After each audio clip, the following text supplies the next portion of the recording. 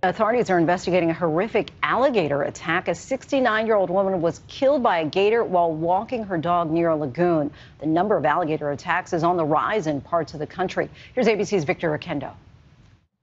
Tonight, an early morning dog walk turning deadly in South Carolina when an alligator attacked. They're responding to a report of an elderly female in the lagoon. She is possibly deceased. Authorities on Hilton Head Island say they found the body of a 69 year old woman at the edge of a lagoon guarded by that gator, getting in the way of rescue efforts. It's kind of shocking, honestly. I think the alligators sometimes get too comfortable with the people and, and vice versa. Just weeks ago, this gator charging at a fisherman there. And last year, another fatal gator attack in a nearby retirement community. Authorities say an 88 year old woman was killed while gardening at a lagoon near her home. The alligator was basically um, holding holding her hostage. And here in Florida, 13-year-old Gabriel Klimas fighting off a gator that bit his hip last month after a swim. That gator captured two days later. I'm very thankful because like I could have not been here right now. And authorities are warning pet owners not to walk them near bodies of water prone to alligators. And experts say that in this part of South Carolina, the alligator population isn't growing, but more people are building on and moving closer to their habitats. Lindsay? Victor, thank you. Authorities are investigating. All right, Shalom.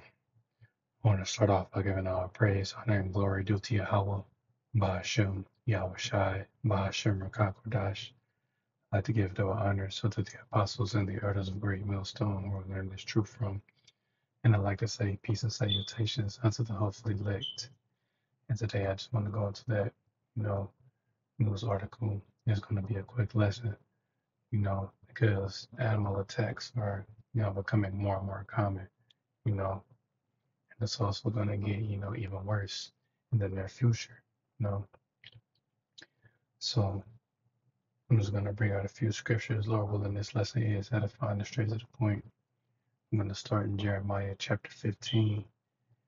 And as the headline reads, judgment must come. And yes, you know, judgment must come. This is Jeremiah 15 and 1, and it says, Then saith the Lord unto me, Though Moses and Samuel stood before me, yet my mind could not be towards this people. Cast them out of my sight and let them go forth. And yes, you know, this talk about the nation of Israel, the two thirds in particular. You know, verse 2 And it shall come to pass, if they say unto thee, Whither shall we go? Then thou shalt tell them, Thus saith the Lord, such as for death to death, such as are for the sword to the slakith, such as are for death to death, and such are for the sword to the sword, and such are for the famine to the famine, and such are for the captivity to the captivity. This point, verse 3. And I will appoint over them four kinds, saith the Lord, the sword to slay, and the dogs to tear, and the fowls of the heaven, and the beast of the earth to devour and destroy. And yes, you know, this particular incident, you know, is pretty much what the Lord is doing. He poured out his judgment. You know, he put the spirit on, you know, the alligator to attack that woman. Now, a similar incident happened, you know, earlier this year, a few months ago, where an elderly woman in Florida was walking her dog, you know, near a pond. How she didn't see the alligator, I'm not sure, but originally in the video, the alligator was trying to get the dog, but it ended up attacking a woman, you know, and ultimately killing her. You know, but again, this is, you know, the Lord pouring out his wrath. Know, so I'm going to the book of Ecclesiasticus, chapter 39, verse 28, and it says, There be spirits that are created for vengeance, which in their slacky, which in their fury lay on sore strokes. In the time of destruction, they pour out their force and appease the wrath of him that made them. Fire and hail and famine and death, all these were created for vengeance. Teeth of wild beasts and scorpions, serpents, and the sword punishing the wicked to destruction. They shall rejoice in his commandment and they shall be ready upon earth when need is, and when their time is come, they shall not transgress his word. And yes, you know, point being in verse 30, teeth of wild beasts, because again, you know, just like they said, alligator attacks are becoming, you know, more and more common. You know, it's happening more and more, you know. And that's the Lord, like I said, you know, pouring out his force, you know, putting that spirit on these animals, you know, to pretty much inflict judgment, you know, upon these people, you know, because again, just like you said, you know, these animals are pretty much waiting, you know, for the Lord to give them that commandment to go out and pretty much, you know, attack these people, especially during the time of Jacob's trouble, you know. Once these zoo animals get out, you know, pretty much all hell is gonna break loose. But you know, even then, animals are pretty much changing um, their place. Let me see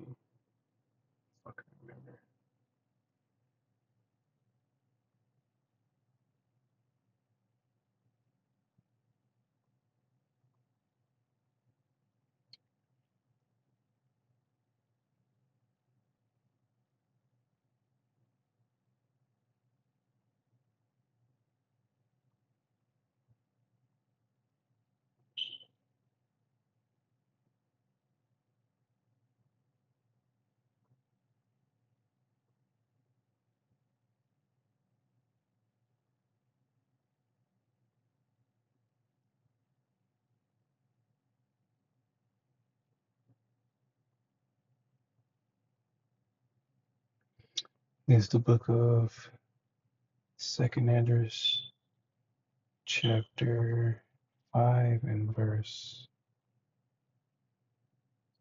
eight,